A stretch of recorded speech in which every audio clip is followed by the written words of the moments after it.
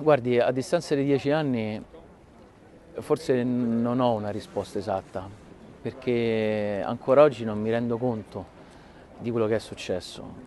Anche alla fine, dopo tante ore che abbiamo cercato di, di dare il meglio di noi stessi, non, non ho ancora ricordo, non ho ancora quella sensazione di dire ma sì, eh, che, che cosa è successo?